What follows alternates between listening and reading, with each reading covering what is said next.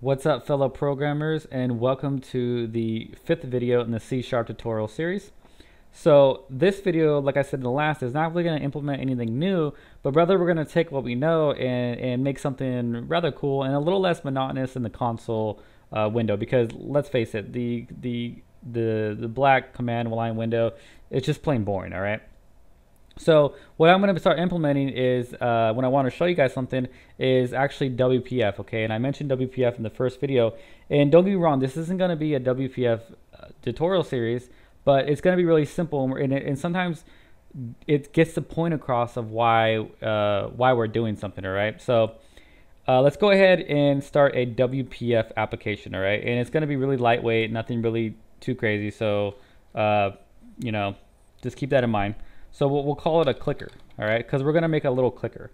And having a GUI to work with and some code behind it always makes it funner. For me, you know, it always, you know, rather than just pushing out, you know, things in the command line, having something to interact with really makes it fun uh, to code, you know?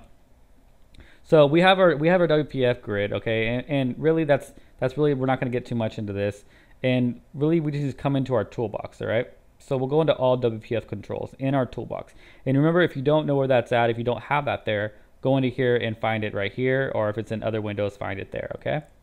So it's in your toolbox. And we're just gonna want uh, a button, all right? We're just gonna need a button, okay? So if we just come over here and we just drag it over there, we're gonna need two buttons. We can line them up nicely. Really just drag and drop here, guys. Highlight them, move it over here. And notice that we have now our two buttons and we can give it a plus in the content and then of course a minus here. And then we can do a click event, okay? So a method is going to be called, like a function like we just learned about in the last tutorial. A click event is going to be called and we'll do new event handler, right? So that's button click. Let's go ahead and give it a name.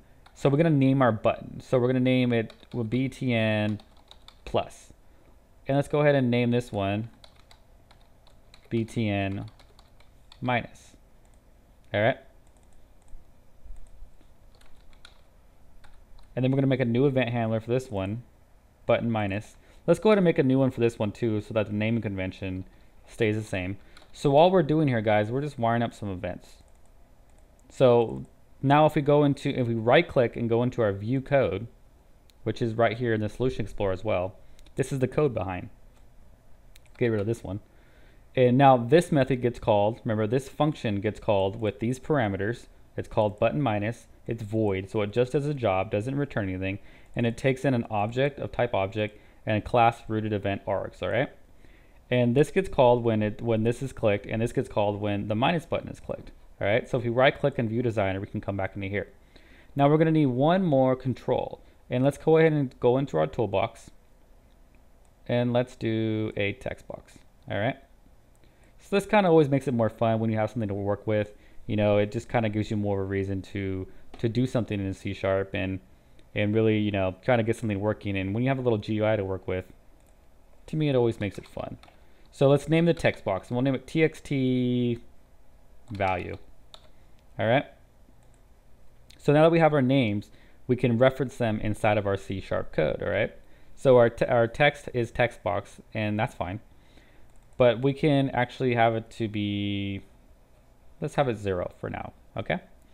Now, all this stuff inside of here, you don't have to worry about. I mean, like I said, this isn't a WPF uh, tutorial series. And if you are familiar with WPF, cool. It's a, it's, it's really great uh, software, but of course, this is beyond the scope of the series. But let's just know that this gets called and this gets called when the buttons are clicked, all right? So now what we could do is when it's plus, we can do, we'll have a global variable, right? So inside of our class, we're gonna have a global variable and it's gonna be int, we'll call it value, all right? And remember that a global variable is global with all the class. Okay, so we have a main window class and we have a global variable that can be accessed inside of any method, all right? Now, if we do plus, what we want to do is actually do x plus plus, I'm sorry, value plus plus. And what that's going to do is increment it by 1. And then, of course, when the minus is hit, we want to do value minus minus, and that'll decrement it, all right? So now we want to update our method, all right? And what we could do is do txt value. Remember, that's what we named it inside of our XAML, txt value, which is why we can reference it. So when we do txt value, guys, and if we do dot, we get all of its properties and methods that we can do on this text box, all right? So let's keep it simple though. Let's do text, all right? So text txt value dot text equals value to string, okay? So we want it, it's an integer, but we want it to be a, we want it to actually have a two string value, okay? Since text takes a string, okay? And then of course we could do that here. So the text, we want the text inside of the text box to be the value of our value variable. All right. So let's go ahead and run this guy. And we have our main window that shows up, all right? So we just have our plus and then we have our minus, all right? And notice that when we click on our plus, this will go up. And when we click on this, this will minus. All right, and it will keep doing that until you have stopped because your fingers are cramping up. So, all right, so there you have it, guys. And, and let me show you one more thing. Now, notice that like, you know, when we have a line of code right here and we have a line of code right here, notice these line, this, this code is exactly the same, all right? And it's always good practice when we repeat code to have it inside of a method. That way, if we say if we want to change this to, you know, txt value dot toString plus value or whatever. We're going to have to do that here as well. And what if we had it in like four other spots? We're going to have to do that over and over again and just keep wasting our time, right? So it's always good good uh, practice to have if we have the same line of code or logic to actually put that inside of another method, another function, okay?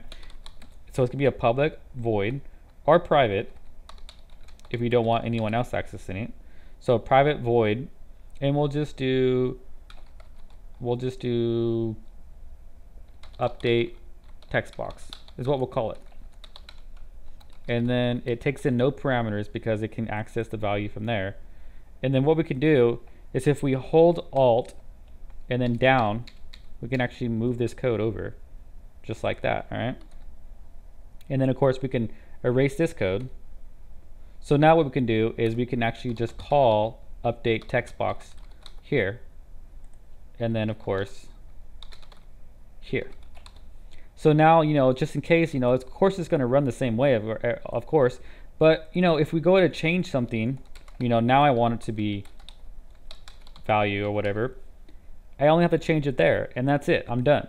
Now, so that saves us a lot of time. And if we have, you know, a huge program, that's gonna you're gonna thank yourself later or you're gonna thank the programmer that did that because now you don't have to find every reference of it and you just know that it gets called there and then everything else is taken care of so not really a, a big deal right here but just a good little tip so now if we run this of course it's going to act the same way and it's going to call our update text box method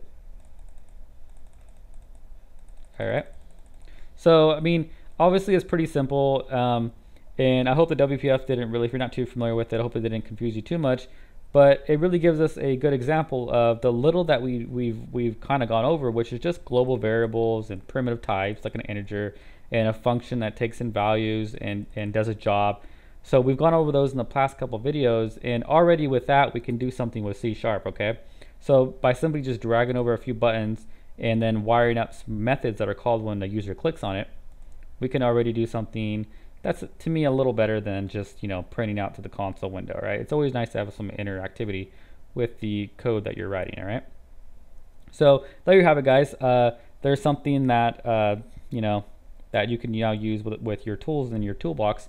And of course in the next video we're going to learn more into into what uh, C sharp is really good at which is object orientation which is you know when we start introducing classes and uh, private variables public and then instantiating, you know, reference types and, and all that good stuff. So, but as for now, you know, there's a little application that we can now implement with the tools that we have now acquired.